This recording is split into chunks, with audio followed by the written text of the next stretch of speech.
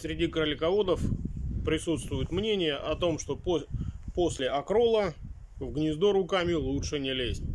Якобы крольчиха после того, как мы залезем в гнездо, может их крольчат разбросать, либо съесть. Мы сегодня с вами разберем главные правила осмотра гнезд, как нужно осмотреть гнездо, чтобы не навредить нашим животным. Поехали!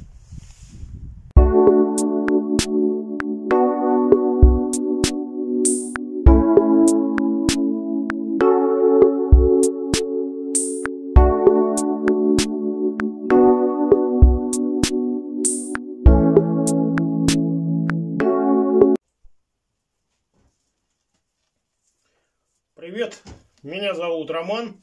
И как вы поняли из названия сегодняшнего ролика, речь сегодня пойдет о главных правилах осмотра гнезд после окрола. Я выделил для себя 5 правил, которых нужно придерживаться при осмотре гнезд.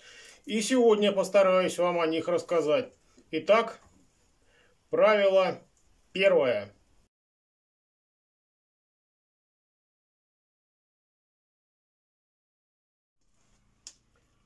Прежде чем начать осмотр гнезд, убедитесь, что вы не работали сильно действующими веществами, такими как бензин, керосин, ацетон, краска и другие вещества, которые имеют очень сильный и стойкий запах.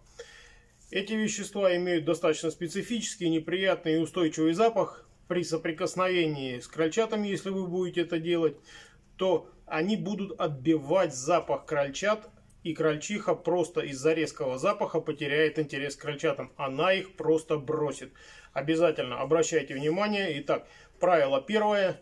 Не работать перед осмотром сильно пахнущими веществами. Бензин, керосин, ацетон, краска и другие вещества. Правило второе.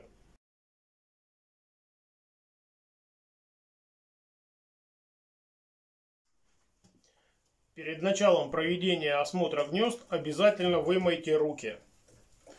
Мытье рук лучше проводить обычным хозяйственным мылом. Оно не имеет абсолютно никаких запахов, оно нейтрально, и ваши руки после мытья этим мылом будут иметь такой же нейтральный запах. И значит, при соприкосновении с крольчатами вы просто не принесете новых запахов в гнездо. Поэтому, друзья мои, из, прежде чем выбрать средство для мытья рук, выбирайте обычное хозяйственное мыло. Правило третье.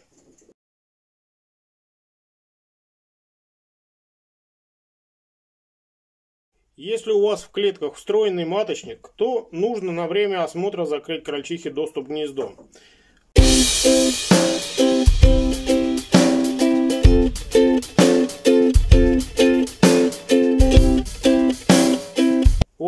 Если вы уже ставите маточек внутрь клетки, обязательно его достаньте оттуда. В присутствии крольчихи осмотр лучше не производить.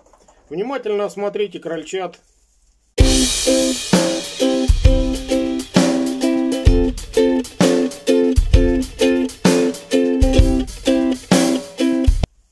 Пересчитайте их. Лишних удалите. Ну, это уже на ваше усмотрение, смотря каким окролом у вас окролилась крольчиха. Если первым окролом, то лучше оставлять крольчат не больше восьми. Удалите из гнезда всех мертвых крольчат, если они есть. Послед, если он остался. И после этого всего мы уже переходим с вами к следующему правилу. Правило четвертое.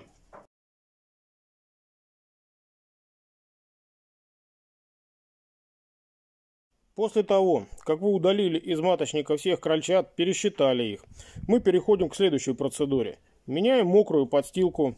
Перед этим обязательно удалите из маточника весь сухой пух, соберите его, а затем убирайте мокрую подстилку и при необходимости добавьте новую и сухую.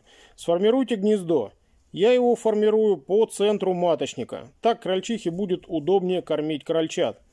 Положите всех крольчат в гнездо и накройте пухом. Можете каждого крольчонка обтереть пухом на всякий случай, если вы в чем-то сомневаетесь.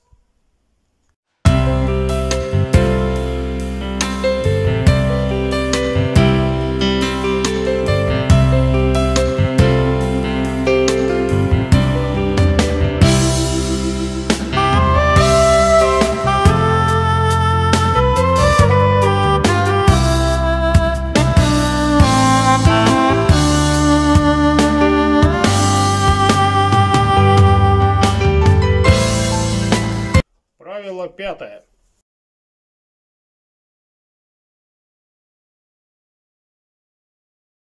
После проведения осмотра, замены подстилки, сформирования гнезда, не спешите открывать задвижку, либо ставить маточник в клетку, особенно если вы проводили кукование. Оставьте его на небольшой промежуток времени отдельно.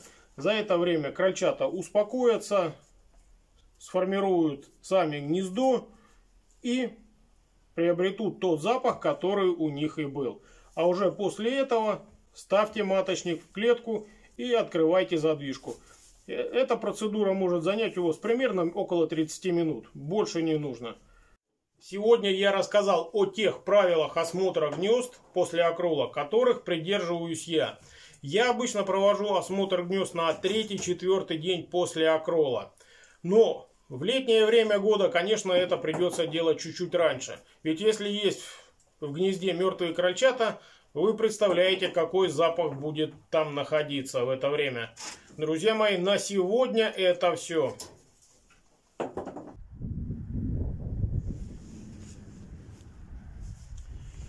Надеюсь, сегодняшний ролик был для вас полезен. Вы, скорее всего, узнали что-то новое для себя, а кто-то просто укрепил свои знания.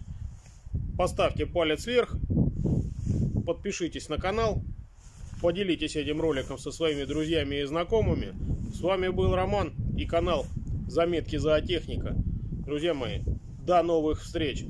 Всем пока.